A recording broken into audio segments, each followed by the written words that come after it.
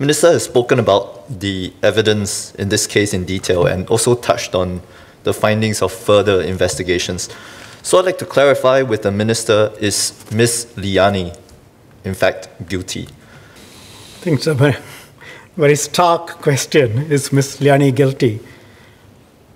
She has been acquitted by the High Court, and I said that we must proceed on that basis and not uh, reopen that issue.